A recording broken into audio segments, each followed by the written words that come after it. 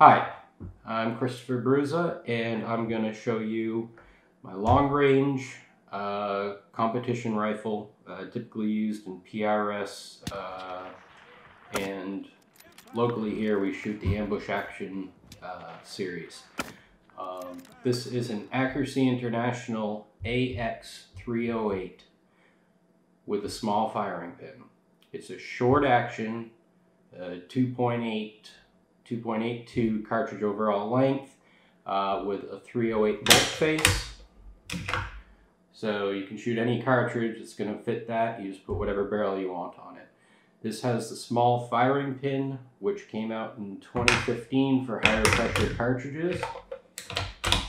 Um, and I bought this new in 2015. You'll see the scope on it is a Schmidt & Bender PM2 5 to 25 by 56. Um, and it has a Tremor 2 reticle. So I'm going to start at the butt, move to the muzzle, and just explain features and why I chose to set it up the way it is. Okay, so this is a folding stock I believe all the AXs are folding stocks. The chassis, I believe you have the option. Uh, but it's a folding stock. Uh, it's very solid. Uh, doesn't move. I mean, it's it's dead solid. When it folds, it folds over the right side to cover the bolt handle. Um, a lot of folding stocks go to the left, and then you have a much wider package because you have your bolt handle sticking out. So I use an Eberlestock pack um, so I fold it to the right and put this in the rifle scabbard. Uh, the bolt is protected uh, and it's a fairly narrow package. Uh, you'll see the butt pad here is adjustable. Uh, you have this thumb wheel which you can readjust it up, down, left, right, angle it, whatever you want to do. Um, I have marks on all my settings just in case something happens. I know if my screws moved, if uh, it's not set up properly. There are spacers which you can add or subtract to change your length of pull. Uh, but you can also do that with this adjustment here. It's a thumb wheel. So the spacers are your main adjustment. And then if you need to tweak it, when you're on a stage or just if you feel something isn't right or you want to make minute adjustments, you can tweak it here, forward and back. I generally run a 13 and a half inch length of pull for a PRS gun. It seems to work well for me. Um, moving up, what we have here is just a little skid skid plate. Uh, it serves no function other than just putting your bag under it, giving you a location to put your bag. Because this, this section here is fairly high. Um, and you need a pretty big bag. I run a Triad Tactical uh, triangular bag. I've used it, I don't know, since 2012 or so, and I'm just used to it. I know a lot of people have moved on to bigger, better things it works for me, I'm not going to change it. Um, this attaches, there's a Picatinny rail under here. I guess you could put a monopod or something, but that would be completely useless in my opinion. Um, having a slightly longer one might be beneficial, uh, but this is what it comes with. Uh, a lot of times you'll see people slide these forward. The instructions say to have it all the way back. That's where it is. It works fine for me. Um, it's just a cheap molded plastic piece. Um, probably see it's all chewed up on the bottom here from, from use. Okay. There's a screw up top here that allows you to angle this cheek riser left or right. Um, and it also houses a four millimeter hex wrench. Uh, this will adjust everything on the rifle if you need to in the field. The exceptions are these three screws that hold the plastic on um, and the adjustment for the trigger shoe, which we'll get to in a minute. Um, this conveniently stores in the buttstock. It has a ball detent to keep it in there. It's not going anywhere. Uh, if anything, it's a little hard to get out, but I don't want to lose it, so wonderful. Moving up, I already mentioned the folder. Um, you have your nipple and recess, which locks the stock. Um, then you have your plastic. Uh, this is actually the same plastic that's on the AT, uh, just this trigger portion. Uh, and you have your trigger. There is a small screw in there, which is smaller than four millimeters, uh, which allows you to move the trigger forward and back uh, to fine tune where that trigger shoe sits. Um, going forward here, we have our magazine release. It just, it's a push forward. Uh, it's got a fair amount of resistance. I've never knocked a magazine out accidentally. Um, but it's it's a good size and it's extremely easy to just kick forward um, with your trigger hand. The magazine. So the magazine on the AX is specific to the AX, um, where it goes up. There's a little uh, protrusion here. It's just a slit in the metal that they bent out the clips and it rocks into place. Um, if you have a chassis, uh, like the MPA chassis, I know some actions are set up to take the double feeding Accuracy International magazine. This won't fit. This uh, protrusion is going to prevent you from putting it up into the rifle. Uh, this rifle can use the magazines uh, from those I believe it's the same that's used in the Arctic Warfare and the earlier models. Uh, without the detent, I've never had issue using them. They work great. The downfall to this magazine is it's 10 rounds and the base plate is welded on. Uh, so I have not seen a replacement uh, or modification you can do to get more than 10 rounds. So, in a match, several stages, depending on the match director, will have 12 rounds. 10 is less than 12, so that's a problem. That's why you see this um, short action precision cartridge holder on the side. I always keep two rounds in there. And on a 12 round stage, I hand feed the last two. Uh, it's quicker for me than a magazine change because a lot of times on those stages to get 12 rounds off in 90 seconds uh, they're going to limit your movement so you aren't taking two shots moving two shots moving two shots moving you might move two three times max uh, so that means by the time you run out of ammo your rifle is set up most likely on a bag uh, unless it's prone stage it's going to be on like a game changer or something along those lines. And to change the magazine out, you're going to have to pick the rifle up, move it, change the magazine, and then resettle the rifle into its position. Uh, I found it much easier to hand feed it, and there you go. So a lot of people have commented over the years on this funky cutout on the magazine on the uh, parallax non-bolt side of the rifle and this is so that when you're shooting prone you can remove the magazine without lifting the rifle this cutout allows you to get the magazine as well as your hand in there from the back where there is no cutout I mean you could you could do it, but it's much much easier uh, with this cutout there. That's why it's there. Um, you've got some slight uh, removal of material for lightning, I guess.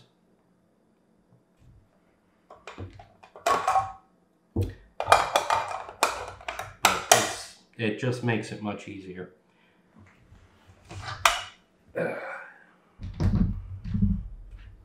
So moving up, we have our bolt, which the bolt release is on the left-hand side and it's on the action. It's not in the trigger assembly like a 700. So you release that, it's fairly, it's very sturdy. Uh, all the forces are put on the bolt release mechanism and not on the actual pin retaining it. A lot of rifles, rifle actions uh, will put a shear force on the pin containing the bolt release. This does not do that. Um, it's a six lug bolt and it has, I guess, a longer M16 style extractor. That's what I'd call it. I don't know what AI calls it. Um, but it's fairly long. Uh, it's a push feed and the extractor pops over the edge of the cartridge. You have your ejector right there. It's a spring plunger type and you've got fluting to take up any grit or anything in the action. And here is your safety assembly.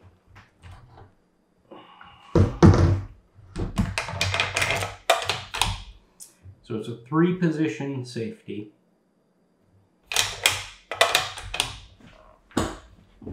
So it's a three position safety. All the way forward is fire. Middle position, you can work the bolt, remove the bolt, and if you're actually going to remove the firing pin assembly, you put it in the middle position, remove the bolt, push in this plunger,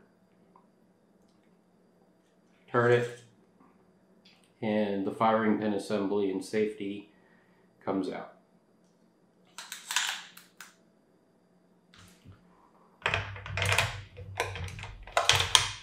So middle position, you can work the bolt all the way back, locks the bolt in place, and everything is safe.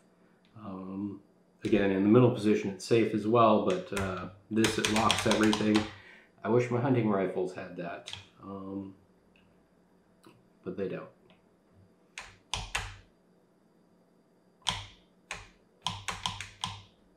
Um, I don't know if anybody makes replacement bolt handles. I've never had issues with this or thought to replace it. It's fairly slick, um, and once in a while if I'm shooting without gloves, my hand will pop off this if I'm getting a bit antsy and not taking my time with fluid motions. Uh, so my hand has popped off it. I don't think I've timed out or anything because of it. Normally when I shoot, I wear gloves, uh, even in the summer because we have matches in the winter. I do a lot of hunting and you're going to wear gloves for that. So I want everything to be consistent. So I wear gloves in the summer. Um, I wear pig gloves and they're great. Uh, I've just gotten used to shooting with them and it feels funny when I don't. I actually carry a spare bolt in my rifle case uh, instead of a backup rifle.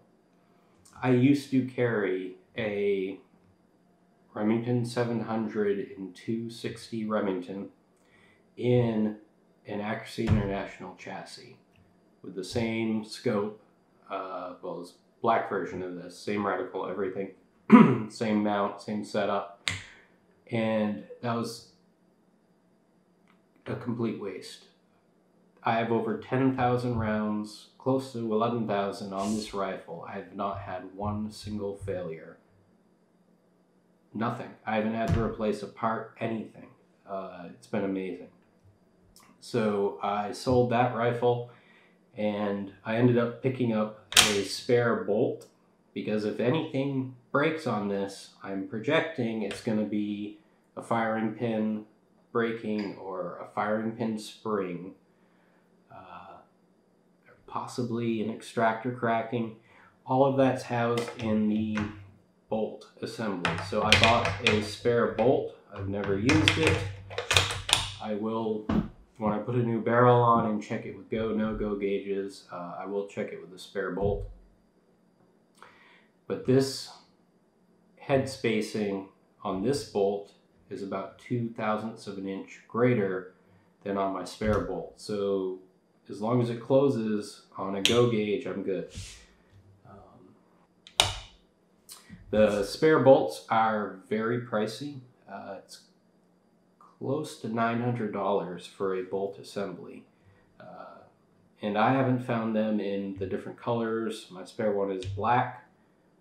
I don't ever plan on using it, and I'm sure I could sell it to somebody who has one with a large firing pinhole. So the action on this is actually made out of square stock. Um, and it has a recoil lug just behind this screw. Uh, the, it, and the action is epoxied into the chassis. You cannot remove this action from the chassis. It's glued in. Uh, if you do want to remove it to put an aftermarket chassis on there, which I don't know why on earth anybody ever would, you have to heat it up uh, and break the epoxy free. So, like the action is epoxied in, this Picatinny rail is epoxied on and it's screwed, pinned, and epoxied. See I have marks here for where my different scope bases go, where my dope card goes, and this is a 20 MOA rail no problems with it. I mean, it's, it, it's epoxied in place. It's not going anywhere. So that brings us to the scope mount. Checking the number. Uh, it, it's a Spuhr SP4602. This is a 6 millimeter cant on the scope mount. It's a Spuhr with the bubble level. Um, I don't have any accessories on it. One thing I do is I change out these screws uh, for socket head cap screws because they're M5 and this 4 millimeter hex fits those. So if I need to, if it comes loose, uh, which hasn't happened, but if something happens, I need to remove the scope, I can.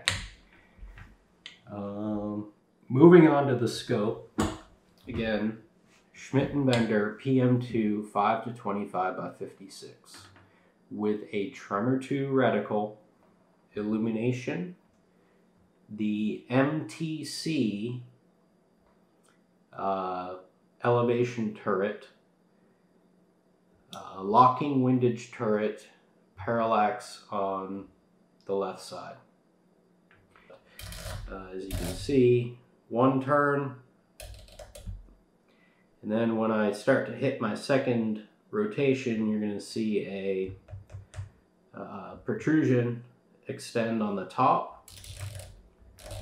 telling you you are on your second rotation. So here we go, we're at 20 mils, and I'm there. Uh, sorry, I, I incorrectly say that before. It's not 28 mils of elevation, it's about 27 uh, it stops short. This is the MTC elevation knob. I believe it's more tactile click, uh, whatever they call it. It every tenth of a mil, you can kind of see it stops on its own. It has a much bigger detent. So you can feel every click. So those whole numbers, uh, it's a bigger click. And the criticism of this turret is if you're trying to go, okay, right now I'm on 8 mils. if you're trying to dial to 8.1 mils and you turn it up, it's going to probably stop around 8 because you're slowing down to, to stop your turning. Uh, if you try to hit 8.1, because 8 has a larger detent, you kind of shoot past that 8.1, and right there I just shot to 8.3. So I stopped at 8, turned it, again, 8.3, which I, I, I don't see a problem with because you just turn it down too.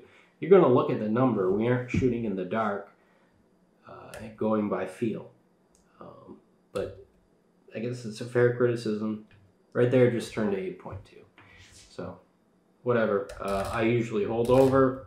I don't have a problem with it. I would prefer this. I've owned the other turrets. I've owned the traditional double turn, single turn, Posicon. I think that's about it. So I prefer this. It's what I seek out when I buy a scope. Uh, moving back, we have our illumination. Uh, 11 levels of illumination and it illuminates most of the reticle, not all of it. Um, the main crosshairs are illuminated, and I believe you have dots on some of the wind uh, wind marks. I don't shoot in the dark. I've done night matches. They're lit enough to see the reticle without illumination. Uh, moving back, you have your zoom, and I generally shoot, unless it's just something that's going to go out to 1400, 1500 yards, I'm shooting on 12 power.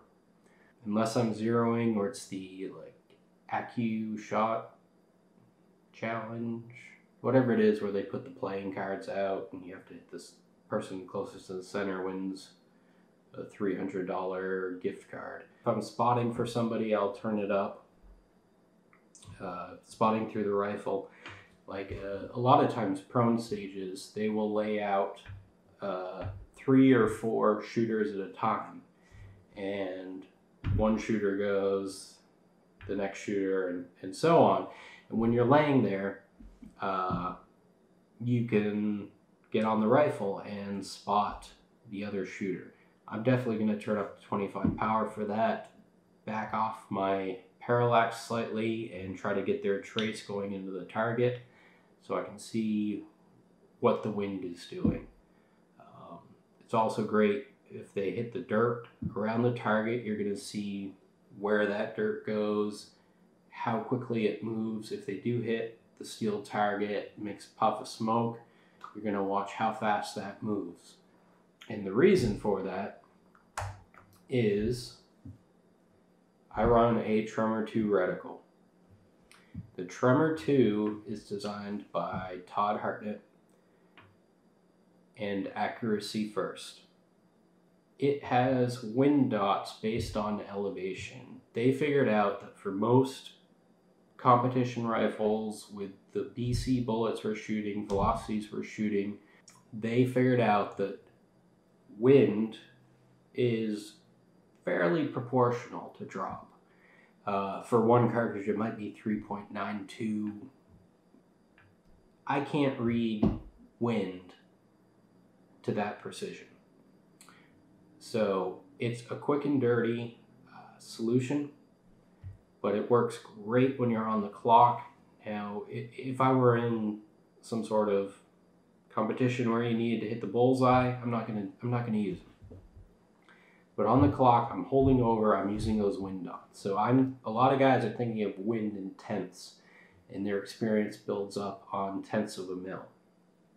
I'm looking at wind in miles per hour. That's the input to most ballistic programs, and it's what I'm thinking in. So you find your wind on the first target, and you just run it down the reticle for your further targets and keep smacking steel. Generally works. Uh, yesterday I was out practicing, had a crosswind where my 800 yard target, it was a 8 inch blade, 800 yards, not quite an MOA. Uh, I was holding about a five, close to six mile an hour wind to hit that target. When I moved out to 900 and 1000, just due to the way the range is cut, um, there was a crosswind and it was more of a two mile an hour hold, which completely blew my mind. So this is a fast focus eyepiece. Turn it left, right.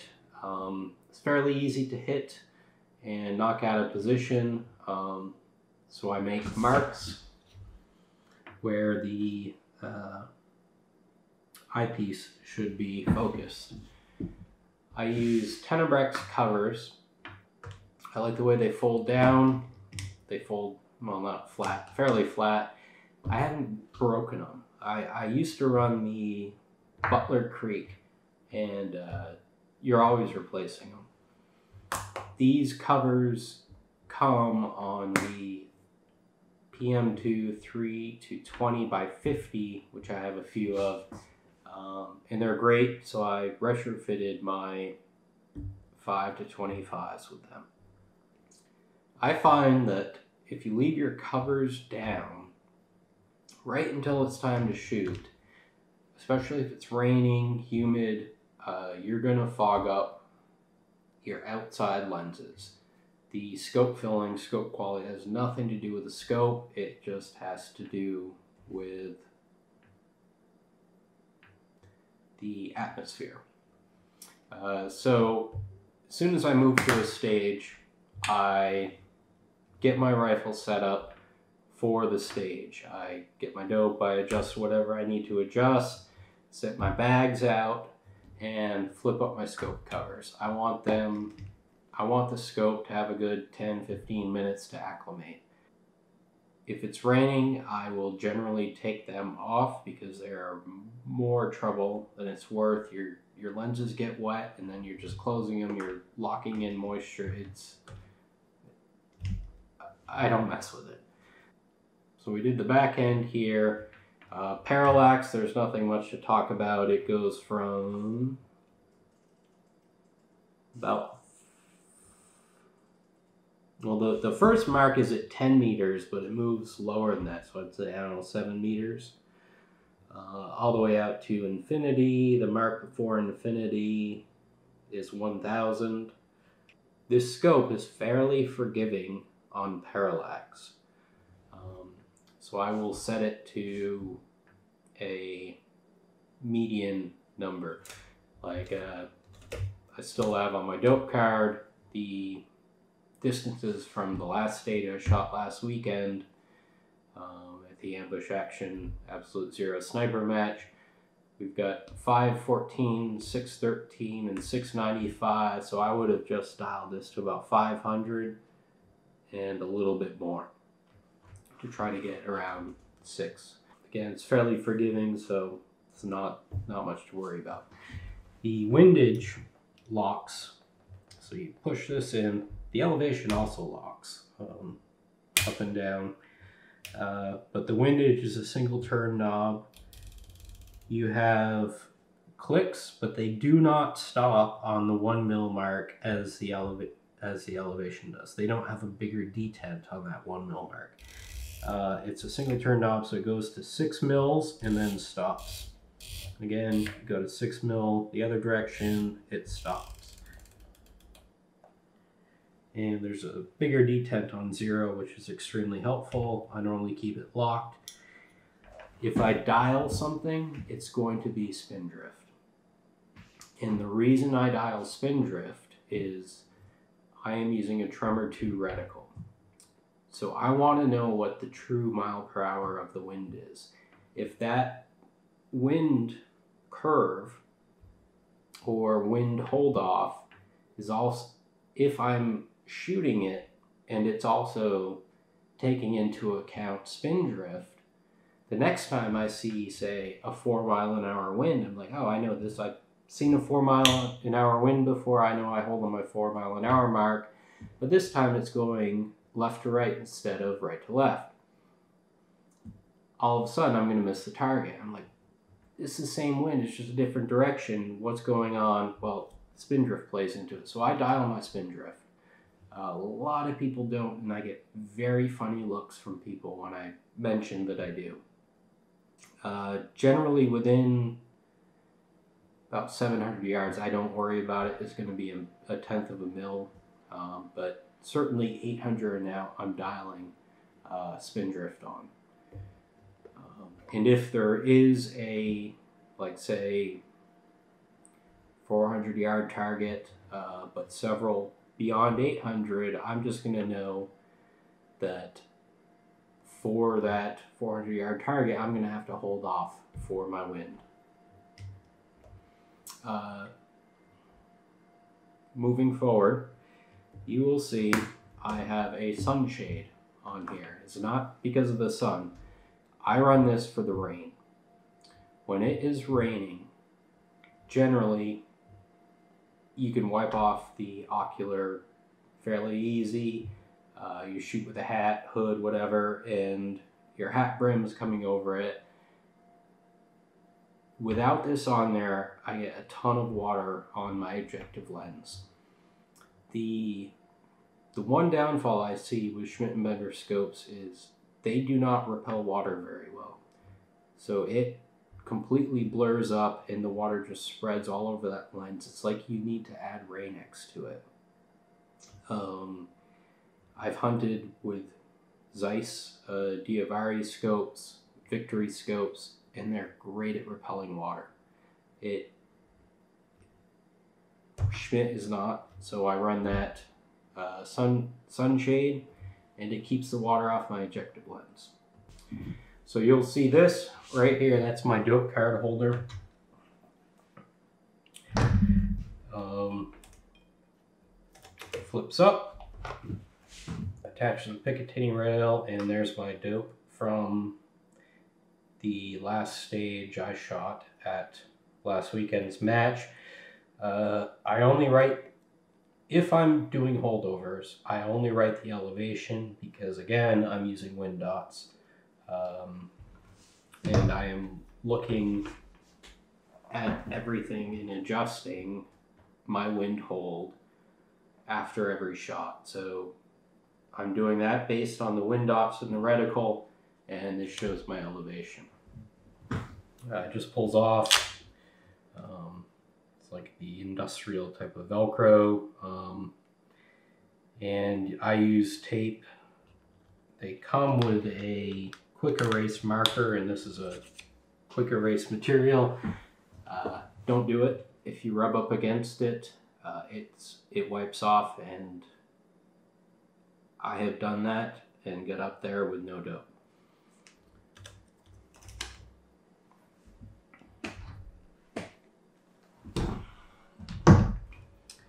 So coming around here, we have really right stuff. Um, I don't know what they call it. Uh, I guess forend. I, I don't know what it's called, but it's uh, made by really right stuff. Stuff, and it's a Arca rail, uh, which clips onto my tripod. This is where I mount my tripod. If I'm shooting off a tripod I'm mounting it right here and uh, you see this ugly mark that's kind of scraped off. That's the balance point. Uh, center of mass is in line with that for my rifle. So if I throw this on my tripod, I am putting the center of the tripod right there. And the rifle will be fairly neutral and balanced. Now that's going to change when you change barrels, barrel profile, barrel length, anything like that. Um, so you see this screw right here. That is how we change barrels. Uh, you loosen this up and this barrel just unscrews and comes out. You put a new one in. You tighten it down and there's a notch right here. You look in the notch to make sure everything is seated properly. And then you tighten that down to 45 inch pounds and you are good. Uh, check your headspace. I I was actually practicing once and the area was gravel. I don't know how it happened. I got a piece of gravel stuck up in the front of my chamber. Uh, a large piece of gravel. I couldn't get it out. I didn't have a cleaning rod to go down the barrel and poke it out. So I just pulled my barrel off, took it off, everything fell out, put the barrel back in, still zeroed. I find that if it's the same barrel, it's within about a tenth, uh, tenth of a mil if you take it off and put it back on. If I'm changing barrels, whether it's the same uh, cartridge uh, or a different cartridge, it's within about half a mil max. Generally 0.3, 0.4, something around there. So it's very consistent. Um, we got that. Moving forward, this is a stock forend. Um, see, I've used it a lot. You have got an AI proprietary key mod sort of attachment system. Works with air rails. I usually shoot with slings. Uh, I don't don't use them when shooting like old school. Wrap your your arm up with it, but um, I do use them for carrying the rifle and securing the rifle. So you get your sling attachment points. Uh, I actually have one opposite this on this side. Um, this Picatinny rail is removable, the, the top one, it, but it's completely in line and true with the 20 MOA back here. So this tapers. Um, it has holes drilled to relieve, uh, to relieve heat coming off your barrel.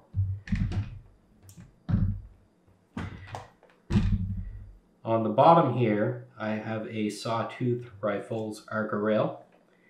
And in full disclosure, I did not pay for this rail. It was uh, given to me.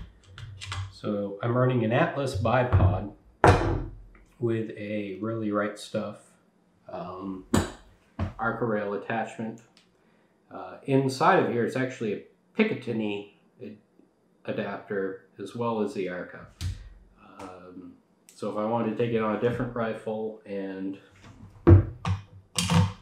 attach, it attaches to Picatinny rail and the Arca.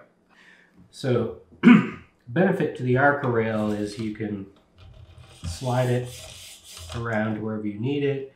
Uh, I can take it off. I can put it on this mount if I wanted. Uh, generally, if you're shooting something that's narrow, uh, you're going to want to move it in. I have marked right here for the traditional barrels. Um, I can also remove this stop at the end with my four millimeter hex screw. And this will then just slide right off. Um, so if you're shooting a barricade stage that starts with uh, prone, I'll take that screw out and loosen that and just knock it off uh, before moving up the barricade.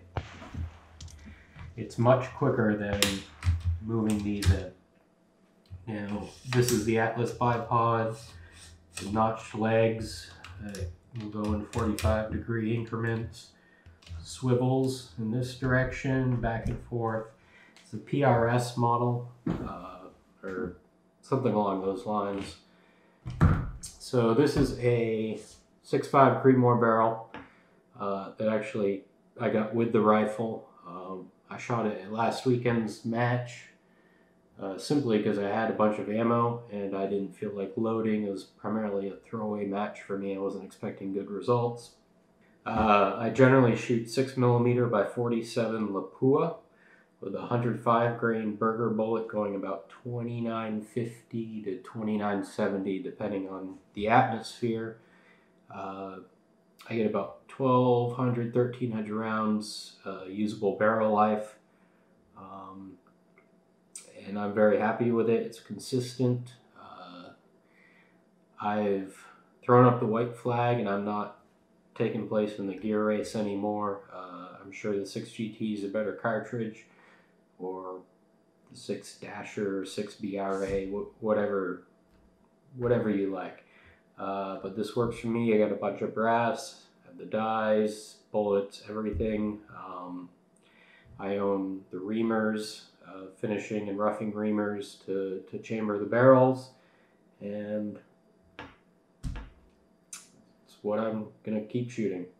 Moving down to the end, I used to run a suppressor, a Yankee Hill Machine titanium Phantom.